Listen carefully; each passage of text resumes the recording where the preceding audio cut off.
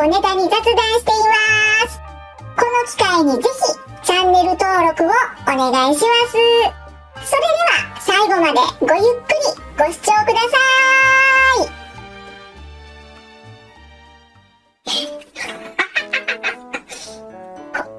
えこれ毛布ですか？いや、ゴミネットですね。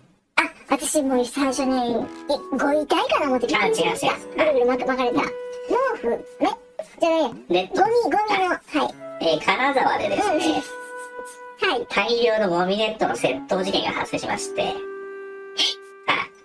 あの、ゴミネットっていうのは、ゴミ捨ての日に、ゴミ捨ての日に、上にかけられるそうカラスにあのかれないようにカラスそうそうそうそう。あれに何興奮する人がいるんですか？はい。はい。い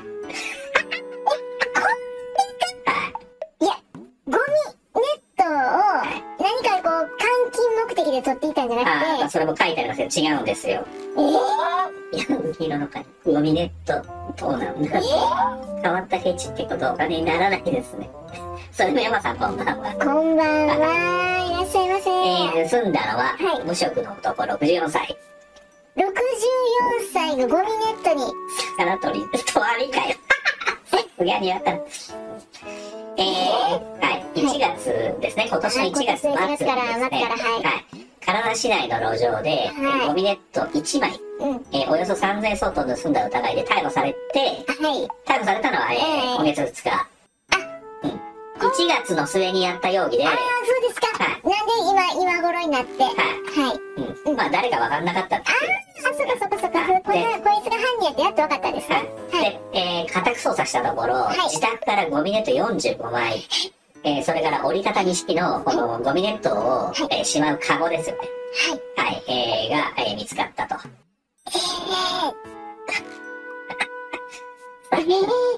えー、世の中いろんな人がいるんですね。ゴミネットフェチなんて。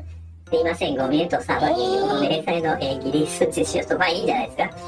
来た瞬間ゴミネットフェチというか、そう、ゴミネットに、ちなみにですが、はいはい、はいえー、まあ、このニュースの時に不可解っていろいろ言われてることがありまして、はい。えー、男がゴミネットに、まあ、ついているタグ、はい、えー、要するはい。に、えー、何々町とか書いてある。はい、はい、はい。はい。日本人と思われる名前をフルネームで書き込みをしていたっていうことですね。え、ちょっと待って、ちょっと待って、今、全然今ね、ちょっと理解が追いつかないんで要すけど、例えするに、一枚一枚自分が名前を付けたと。ば、え、まさみ、フルネームだそうまです。さみちゃん、あ、山田ま山田まさみちゃんだよ、まさみちゃん。ね、このネットはまさみちゃん。山田、山田まさみちゃん。で、次、え、中村、えー、あきこちゃん。まあ、女性の名前かわかんない。あー、いろいろ名前をつけたと。え構先のぼる、そう、さ、遡る、えー、かさばる、あ、そうですね、自宅のどこにね、置いてたのかわかりませんが、まあ、その上で寝さえしした、しかもしれない。はい、ラミさんこんばんは。えー、ちょっと、こ、あ、こんばんはいらっしゃいませ。ちょっとびっくりしすぎまあ、て。洗ってたんじゃないですか。えー、マニアすぎるコレクションってことだ。まあ、そういうことですね。えー、どんな趣味ゴミネットに恋をしていた。えー、これは恋愛。えー、えー、変態って番付にな。え、じゃあ、例えば今日、今夜は、誰と寝ようかなって言ってこう探して、いや、もう全然いいと寝てたんじゃないえー、今日、この子か、オグレス。この子か、みたいな、この子を下に引いて、この子を上にかけてみたいなことやってたじゃないですか。お三人で今日は寝ようっていう、そんな感じですか。そうですね。やばいです。えー、男の供述ですね。はい。自分のものにしたかった。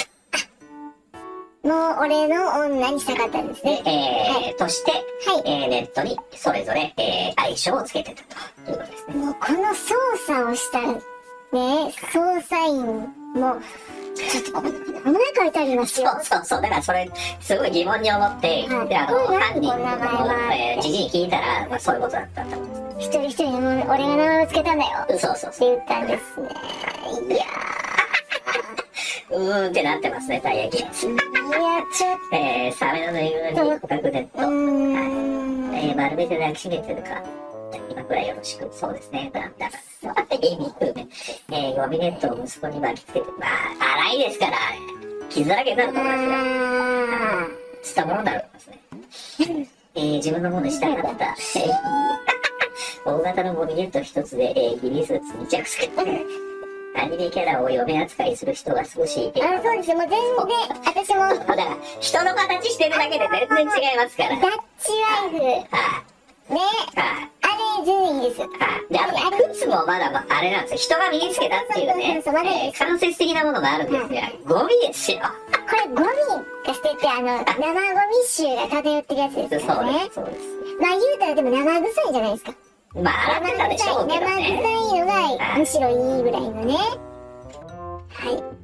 天王寺動物園ですね。はい。これわかるかなセンスわかんないですかね。え、おじいちゃん、お前はわしが、え出会った中で最高の人じゃ。このしなり具合。ねえー、田山、ん田山、花袋、花袋ですか。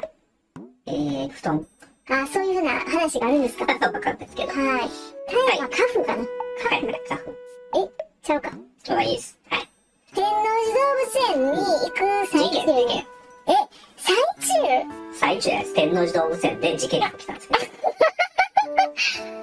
え、え、えー、誰かが、天王寺動物園の、ちなみに犯人は飼育員です。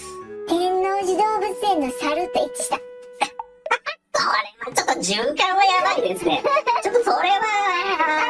えー、メディアに出ないかなっていう、まあ、動物虐待をしたっていうことですえー、動物虐待をしたっていう、それ、それが言いたかったんです。ははいい。はい、2日ですね、はい天王寺動物園で飼育員が動物の餌を盗んで逮捕されたと。え、なんで、盗んだんですか？えー、わかりません。ええはい、動物の世話や管理を行う、えー、飼育展示課に所属の男47歳ということですね。ははい、1日にですね、猿やチンパンジーなどに与える、うんえー野菜や果物を園外に持ち出したと。い。ねで、少なくとも1ヶ月以上前から在庫の餌が減っていたってことですね。じゃあ、家帰って自分で食べてたんですね。と、おそらくそうなりますよね。はい、はい。はい、佐藤さん、そうですね。あ、じゃあもう、そんなんね、キャベツ1個、リンゴ1個ぐらいなくなくなったっていいやろぐらいの感じですうかね。ーん、食費がなかったので、食べれなくなったとか、そうんんな単純なね。でもなんか動物のために買ってきたやつとか嫌ですね。自分がしかも飼育係で育ててる。あとね、うんあの、農家さんが善意で、はいその、ちょっと形が悪くて商品出せないやつとかを売っていただけたりするんで、あそうですかはい、買ってるとやっぱりどうしてもね、た高いんで、うんうんうんうん。あ、そんな、なんかね、減っていった、うんメルカリ。いやー、動物の餌をメルカリにってないと思います。ドッキングをライオンの森に入れたんちゃうかちね。まあ、それもいいですけどね。クルド人全員ライオンの餌にしてやるよ。はえー、で、天王寺動物園からのコメントですね。い。はい。市民の皆様の信頼を、えー、損なうことになり、深くお詫び申し上げます。はいはいはい今後、事実関係を確認の上、再発防止に取り組んでまいります。っていうコメントしたと。はいや、あの、その飼育係の方はね、もう何年も47っておっしゃいましたよ、今年齢。じゃあ、例えばまあ二十歳ぐらいの時から飼育係をされてたとしたら、勤続27年ぐらい経ってらっしゃるかもしれないですね。そうです。いや、それ、それまではそんなことがなかったのに、ここ最近になって、そういう泥棒をしてしまうっていうことが。発生して、そう、そうなんです。私、それ言いたいの、そこなんですよ。っていうことで、物価高だよっていうことだとしたら、すごいことですまあ、ね、結局自分で食ってるってことだと思う。それはそう、そうですってね。はい。だからまあ、ちょっと理由を皆さんで考えてみましょうかってなるんですが、自分で食いがあるかってなっちゃうわけですよ。はまあ、しかも仕事先でね、動物たちにあげようと思ってる。だから僕が思ったのは、まず、猿の方は自分よりいいもん食ってるって思った可能性が高いんですよ。フルーツなんかめったに多分食えない。まあまあそうですね。リンゴも最近高いですしね。そうそうまあでもそれは、ライオンなんかやっぱ大量の肉食って羨ましいなって思う時あるわけですよ。もう肉の塊を血をね、滴らしながら、そうそうそうあ食べて。まあ、食ってるでしょ、生肉を。はい。いやでも動物がね、好きでね、動物の飼育係にされてると思うんでね。そうですね。その動物そのね。れ、自分よりもまず動物やろうっていう風な気持ちにね、はい、そうですね。なって当然やと思うんですけど。えー、動物の餌は無農薬なんていいとか、ああるのね、お腹空いてたの。えー、ドキュンなんかライオンに食べさせたらお腹壊しちゃうう。ん。給料少ないのかな。うん。まあ自分なんかそんなリンゴなんかやっぱ食べられないのに、さらに若く嫌がってると思ってた可能性ありますうよ。ん。バナナとか。ああ言うてもね、でも、えー飼育係なのに動物可愛くなかった。まあ、それは可愛かったでしょうけどうね。ん。はい、確かに飼育員の給料って聞いてまあ、大して良くなさそうではありますよ。まあ、まあ、だって、となくね。そう、だから好きだからできる仕事だと思うんです、動物がうん。じゃなかったら、ってなるわけですよ。うんまるちゃん焼きそばですね。はい、そううん、うん。はい。久しぶりにちょっと見ましたけどね、よろしくお願いします。昨日ました。あ、そうですか。昨日食いましたはい、あね。昨日、はい。えー、お米の高騰でですね、はいえー焼きそばのこの玉、はい。えーを作ってる業界が、はいまあ、特需を受けてると、あら、そうなんですね。えー、くじが出たっていうことですね。うんうんうん。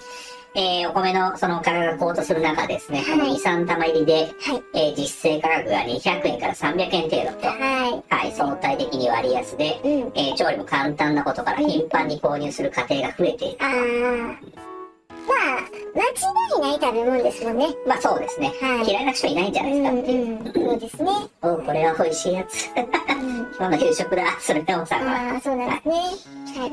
えー、で、大手食品スーパーなんかでは、はいえー販売額が軒並み、えー前年を上回ると。うん。はい。メーカーでもマルちゃん焼きそばの東洋水産ですね。はい。えーかなりこう、今、旺盛な需要にああ、そうですか。対応するためにですね、はい工場を新設するって決めました。もう工場、もう何、た生産追いついてないんですか？そう。あで、まあ、売り上げから見ると、はい工場1軒建つぐらい普通に、あの、売り上げ伸びてるってことです。ら、そうですね。ちょっあまるちゃんのちゃんぽんを食べました。うんはい。えー我が家はパスタ。と。うん。うんえーパスタクリームは我が家の、えー定番晩飯。うんうん。えー今日屋台で食べた、えー、いや、キャ、キャ、キキャャベツベツしか入ってなかったですね。うん。この不景気に儲かってるんだから、ね えーそんなに私日清派だ。え。うん。ね えー、まるちゃんね、武田鉄矢。はい。え。まあ、まあしかもキャ、具もね、うんまあ言うたらキャベツと豚肉、そう、最低でもですよ。そうですね。それだけ入れといたらなんとなく見栄えがするし、まあいいかって思える晩晩のね、おかずにもなったりするわけですよ。そんなにそう売れてるみたいですね。うんし島根屋の方が安くて、えー遜色ない。ああ、そうですか。えー、で、えーさらにはですね、うんえー、まるちゃんなんかは、うんはい、あの、値上げしてるんですね。あ、これ値上げされてるんですか？最近はい10%以上値上げしたんですが、はい売上高は落ちずに、はいむしろその、昨年の、はい。えー生麺などの、うんその低温食品事業の売上高が、はいえー7.8%増と、うん。えー569億円。うん。で、今年もですね、はいえー2.8%増、はい。えーの予定で、はい。えー585億円だと。はい。で、まあ、その結果150億円をですね、はい。えー投じて工場を新設すると。あ来年には生産を開始するってことですね。あ、あ、そうですはい。か。これでその、えー焼きそば業界のうんトップの地位を固めるっつって、まあ、言ってると。もう、任し、焼きそばのことはもう任してくれと。そうそうそう。はい。えー焼きそばは食べるけどね。うん。私はまるちゃんの冷やし中華が大好き。は休みの日のお昼に食べるイメージ。い。そうですね。なんとソースなくね。焼きそばって関西でも売って、あ、最近は売ってます。売ってますね。あのね、はい。なん、十何年ぐらい前は売ってなかったですね。うん。ここ最近ね、あの普通に言ってますよ。ドラッグストアとかでも、はい、そうですね。えー島田屋の、えー CM、うどんは絶対生やんけ。えー生や言うたら生なす。すげえな、とりあえずそうですね。家ではニラと魚肉ソーセージです。あ、いいね、いいね。ですか魚肉ソーセージ。魚肉ソーセージ高いですよね、最近うん、うん。意外と高いですからね。はい。で、その背景は、はいえーまあ、えー内食回帰と言われてまして、はい。はい。まあ、節約のためですね、うんえー家庭で料理をするっていう機会が増えたと。うん。うん。はい。で、その背景に焼きそばなどの、えー生麺の、そう、えそんなん今まで皆さんどうされてたんですかね？ーで、まあ、外食がうん。やめた分、ねえ。いや、もう外食行くこと自体がちょっとめんどくさいですからね。どっちかって言ったら。はい。えうんー焼きそばの麺ってスーパーで、えーめちゃくちゃそうなんですよ。安いんですよ。まあ、実際どうかって話を。まあ、しようとも思ったんですよ。はい要するに、マスコミがこう、騒ぐときって、ステマ含んでる可能性が非常に多いわけですよ。うん、はい。まあ、まるちゃんの東洋水産に、うんね、金もらって記事書いてんだろってなるわけですから。はい、まあ、もっとは買ってもらいたいから。い。そうですね。実際はどうかですね。うん。えーまずお米2合。ははい。えー、これ 300g ですね。うん炊飯すると 660g。はい。い。はい。えー5キロの、えーお米3000円の場合、えー1回で180円くらいですね。はい。はい。えー、まるちゃんは 150g、えー3食ついて 450g ではい。すね。小売りで300円として、はい。はい。えー、まあどう見ても、えー、3食パックが180円を下回らないと割高になっちゃうってことですね。うんうんうん。はい。ですが、はい。えー、肉キャベツ、はい。えー、ですね。はい。で、焼きそば単体はい。っていうふうに考えると、はいご飯プラスおかずで比べるとですね、はいまあ、焼きそば単体の方が安いっていうことにも毎日なってまあ、そうなんでしょうね、きっとね。いそう、満足感っていうのがね、る。はい。よ、ご飯っていうご飯だけではまあ満結足で局そのおきますよ。かずって考えると、結構なもんそう、が金額にもね。ね、はい。えー、まあ、えー、割と跳ね上がってくる。だからこう、ボリュームのあるものを作ろうって考えるそうそう。だからと、、焼きそばの方が楽なんですね。細切れの安い肉とキャベツだけっていうふうに考えたら、まあ、かなり安くなる可能性がある。ですね。っていうので、まあ、どっこいどっこいっていうか、まあ、たまにやる気をしたいっていうことであれば、まはあいいのかなってことでい。す。まあ、ものすごく安いかどうかはわからないってことですよね。うんははい、そんな中、い。はい。はい、えー、わざわざ昨日ですね、はいえーこの記事を編集していてですね、はい。えー僕の方で、はい。はい、はい。えー、いろいろやってきましたので、やってきて、はい。はい、はい。あ、この流れで。いいなんかちょっといい感じですよ。はい。はい、お願いします。深玉先生のおしゃべりクッキングはい、えー、今週は、えーはい、いきなり、なんか、この、なんか流れで ね、今来ましたけど、びっくりしましたけど。はい、この流れでしかやれないだろうっていうあ、そうですか、はい。はいじゃあお願いします。はい、もちろん今回ご紹介するお料理はですね、はい、はい、はい。焼きそばです。そうです。今の、もう、まるちゃんなんですね、これは。さっきの。はい。いい流れです。唐突にクッキーを、はい。えー、豚トマトキャベツとか、えー、玉ねぎで、えー島根屋ので作ります。店では。は焼きそば食べちゃった。い。ね冷凍庫の整理で、えー作る料理あるんですえ。ね。うん、いいですね、そうやってね。えーパスタが1食100円でいけるぞ。まあ、ソースも安いですから。うんまあ、パスタも安いですしね、焼きそばも安いですけど。はい。はい、えー今回は、えー素焼きそば、あ、素焼きそば。はい、のご紹介と、うんえーそれとアレンジですね。えっと、日本の旗を踏んでるそうですね。男がいますね。はい。はい。日本国旗を踏みつければ中国国旗のプレゼントに小さな子供も笑顔で参加はい。中国広西チワン族自治区で日本国旗を踏みつける様子が撮影され物議を醸している。台湾メディアが3日付で報じた。記事によると中国深センで日本人の男子児童が中国人の男に刺殺された事件により日中関係の緊張が高まっているが中国人の旧日行動は収まりを見せないどころかさらにエスカレートしていると指摘し9月30日に同自治区で撮影されたとされる映像を紹介した。はい。はい、ってことですね。まあ、踏み絵ですね。そうですね、踏み方というか。ちょっと映像が、あ、そうですか。はい、えーありますので、ちょっと見てみましょう。はい、はい。はい。ちょっと待ってください。大昔の踏み絵なんですよ。ねえ、なんか私もそんな感じやったんですけどね、キリシタンみたいですね。はい。ちょっと音がうるさいかもしれないので、音小さくして。はい。はい、お願いします。はい、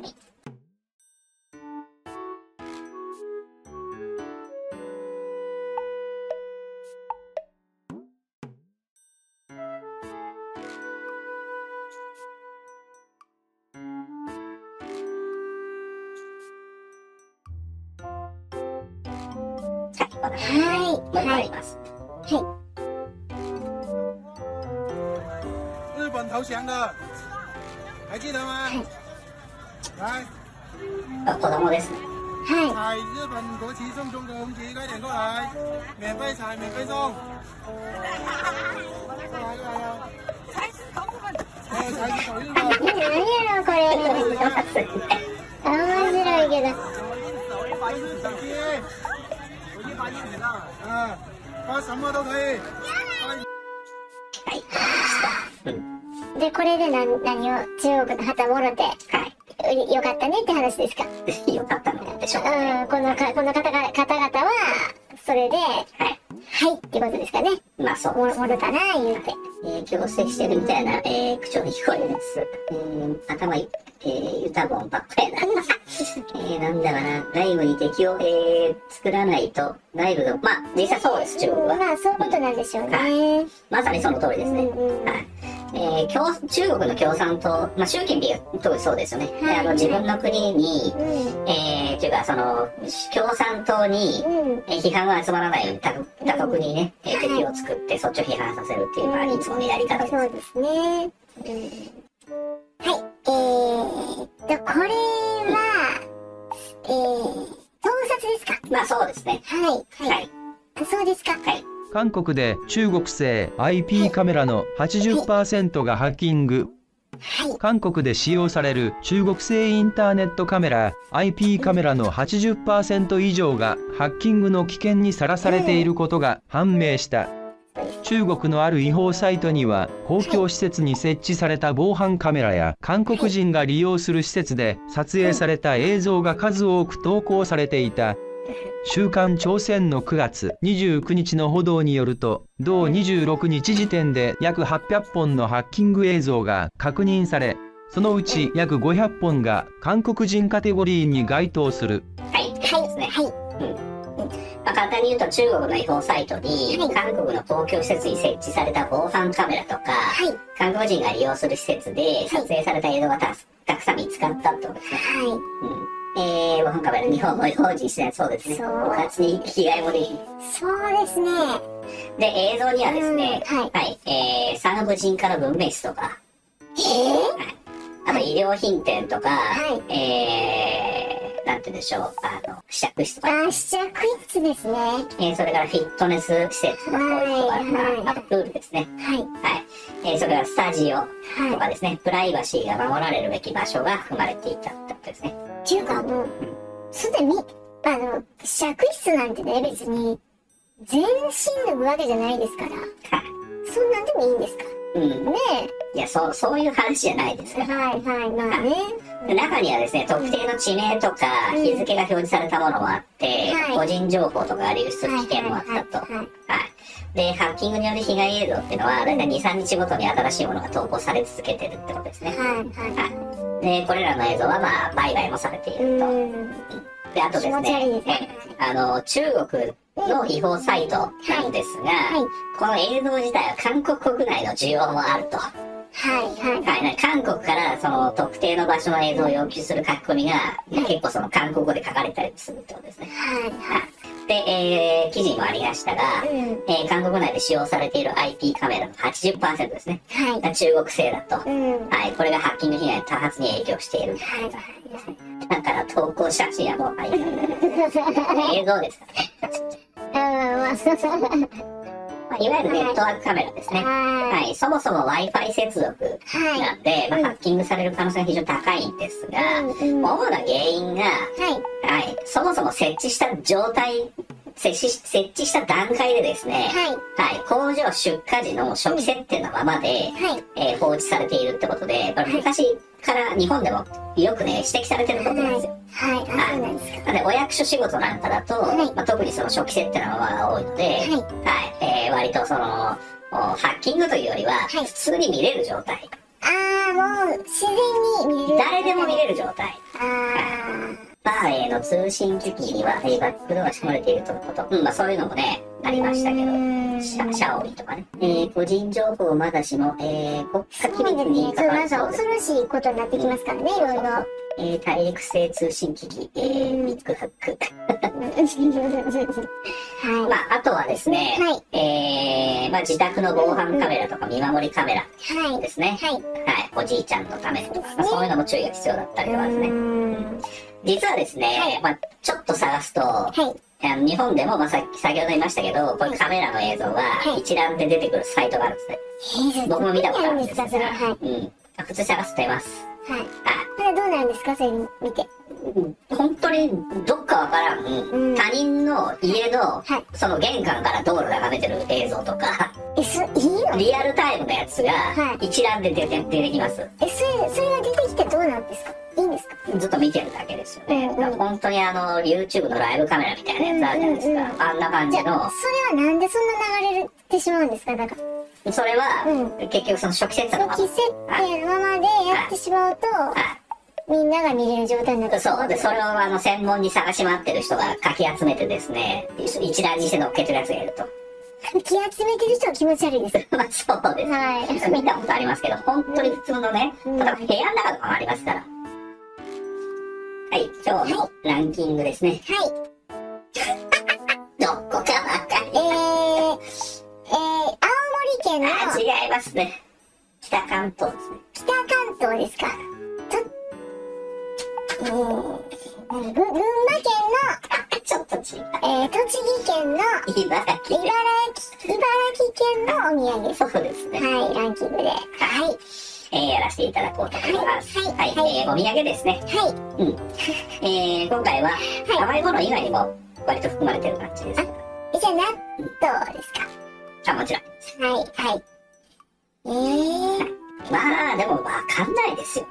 僕、もう、私、水戸納豆しかわからないんですほぼよ。ほぼ、そう、だから、茨城自体は広いんで、うんあれですが、もう、水戸納豆以外全く何も出てこないですね。うん、まあ、納豆って皆さんね、おっしゃってますけど、まあ、そうなりますよね。はい。じゃあ、なんかわかんないんで、はい、お願いします。はえー、20位まで出てますので、はい20位からですね。い。はい。はい。やっていきます。はい。みんな水戸納豆です。はい。えー、丸ごと、リンゴ。それ青森です。アップルパイ。あ、それ青森。これ青森ですね。はい。えー、リンゴ園で焼いた贅沢アップルパイ。ね。はい。藤田関東リンゴ園というと。あ、そうですか。はい。まあ、ただのアップルパイう。んうん。もう全然わかんないですね。なんかこう。なんのあれもないですね。うんだからでもし視聴者の方のリアクションも薄いあないーもうだって全然もう全くね、あーっていう感じにもならないですから。はい。霞ヶ浦で。はい。えー、何かありましたっけ？えー、水戸納豆レーシンもうそれしかないですね、グ。私は。ガルパン酒と、えー、サメ？サメ？何これ？なんて書いてますそれ。はサメなんとか、え、じゃあこれ。何？あんこか。あんこか。いはいあんことレッド？茨城。はい、次。そうなんですかね。はい。えー、かりんとうまんじゅううんね。えー、ビリ辛かりんとうまんじゅう。ビリ辛ってかりんとうまんじゅうにピリ辛が必要ですかね？歌唱いいですあー、そうですか、なんか。大笑いはあんこ。あ、なるほど。私は、もう、いらんですね、ピリ辛は。はい普通のかりんとうまんじゅうでいいですね。かりんとうまんじゅう美味しいですよね。うん、だからそこでなぜピリ辛がそこで必要になってくるのかがね。ちょっとよくわかんないんですけど、はい。かりんとうまんじゅう大好きですうん、よはい。。はい。油っぽいですけど。はそうですね。い。あれ揚げてあるからカリカリしてるんですよ。うん。えー、茨城は、えー、ほこた、メロンも、あ、いう、あ、メロンありますよ。あ、そうですか。ガルパンしか覚えてなかった。えー、茨城カステーラ。日立カステー日立。多少、武田。はい。えー、ガルパンあんこ、えー、ヤンシャしかいない。ヤンシャうね。私はもう、これは、なんていうんですか、長崎の感じ、イメージしかないですね。そうですね。はい。フルーツ大福。あ そんな感じですね。はい。えー、しがもち、氷の花に餅って書いてしがもちって読むんですが、はい、はい、はい。はい、出ました、モンドセレクション。アモンドセレクション。金賞受賞。あ、3年連続受賞。3年連続金賞受賞。えーちなみにあの、モンドセレクションは1回出すと3年有効なので、必ず3年、はい、ですね3年連続になります。いや、なんか、久しぶりにね、モンドセレクション聞きましたけども。ねはい。。まあ、フルーツ大福でえ、す。フルーツ大福。はい。はい、そして、はい。欲しいも。えーお菓子の菊池。なんかね、えー、欲しいもパリにしたはい。お菓子です。なんか欲しいもが結構ね、はい。はい、えあ、そうなんですー、か？はい、押されてますね。へはえ。そんなお芋がゴロゴロ取れるとこでしたっけ？い、みたいですね。はいそうですさつまいも取れるとか。こですね。私も鹿児島のイメージしかなかったんですけど。まあ、そうですね。はい、はい、はい。えー、霞ヶ浦、航空隊と、えー、ガルパンしか茨城県のイメージがないねえ、全然イメージがないですね。私も茨城の。僕も全部は初、初、は初めて茨城って言わないといけないんでしたっけ？そうはい、はい。うんえー、6月に同窓会で、なんて書いてあるなんとか屋本店。うん、ね、なんでなんですかね、これ。なんかちょっとわかんないです。けど。上、上。あ、まあ、上。あ、そ。ういう名ガルパンでもない。あ、そうなの。酒の魚の魚。あー、それは酒の酒はい、えー、今日は、はい。はい、えー、先ほど言いましたけど、えー、法律です。ね。法輪寺のはい、階段です。ね。てってってってって上がっていくとね、ちっちゃいお動画。ちっちゃいお堂があって終わりですね。はい。はい、3時間16分、17分になろうというところですかね。はい、えー、長いことやりましたが、楽しんでいただけたでしょうか。ねちょっと一人で笑ってしまって申し訳なかったですけどね。えー、まあ、それもね、こちらもちょっと楽しみましょう。はい。はい、えー、そして先生は、はい、えー、次回は水曜日。水曜日ですね。はい、また、えー、今日よりも少し早い7時っていう開始になるあ、そうですね。はい。はい、えー、またよろしくおはい、よ願いいたします。ろしくお願いします。はい。えー、ライトアップ綺麗だけど、えー、夜は行けない。そうです無ね。理ですね。ちょっと怖いですね。ここは行かない方がいいですね。もうなんて変態が出てきそうですから。うん。はい。私はもう思う。陰でなんか誰かなんか変なことしてそうです。それで。そう。えー、えー、イチャイチャまあ、ね。ちょっと霊感強い人はなんか見えるかもしれないねまあ見える。かもしれませんね。はい。はい、えー、今週も楽しい時間でした。はい、皆様の参加、はい、ありがとうございます。はい、えー、皆さんね、えー、この後ゆっくり休みいただければと思います。はいはい、ちょっとまたご視聴いただき、ありがとうございました。はい、それではまた次回お会いいたしましょう。はさよい、なら。おやすみなさはい、い。皆さんありがとうね。ありがとうございます。皆さんも、えー、スパチャありがとうございます。ありがとうございます。えっと、秋山さん、秋元さんでした。ありがとうございはます。い最後までご視聴いただきありがとうございます。感想や取り上げてほしい話題などがあれば、お気軽にコメント欄へお書きください。また、高評価、チャンネル登録もよろしくお願いいたします。